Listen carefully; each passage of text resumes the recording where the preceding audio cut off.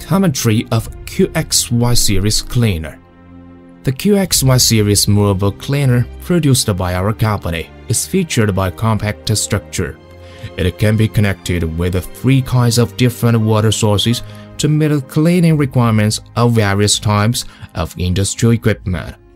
It is provided with two water outlets to clean the inside and outside of the equipment simultaneously or for two workers to clean two sets of different equipment simultaneously. It enhances work efficiency with simple and convenient operation and a good sitting performance. It is suitable for cleaning industrial equipment and other parts that require cleaning in such industries as medicine, food, and fine chemical industry. It is a processing machine designed and manufactured according to GMP requirements.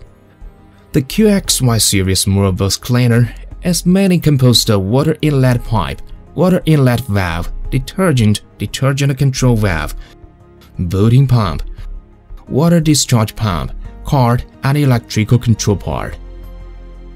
When cleaning the fixed equipment, first push the cleaner to the equipment to be cleaned. Connect it with all necessary water sources, tap water, hot water, and purified water, and switch on the power. If the equipment is provided with fixed connection, install the spray ball on one cleaning head in the cleaner, assemble the cover, install the clamp onto the connection of the equipment and tighten it. Then clean the inside.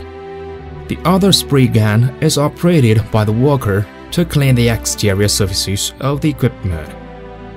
When cleaning some movable equipment, such as transfer hoppers, barrels, etc., push the QYX series mobile cleaner to the cleaning room, fix the wheel brake, connect with the water sources, switch on the power and push the equipment to be cleaned.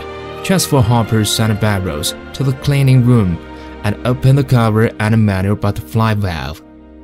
Install the spray ball on one cleaning head in the cleaner. Assemble the cover. Install the clamp onto the connection of the equipment and tighten it. Then clean the inside. The other spray gun is operated by the worker to clean the exterior surfaces of the equipment.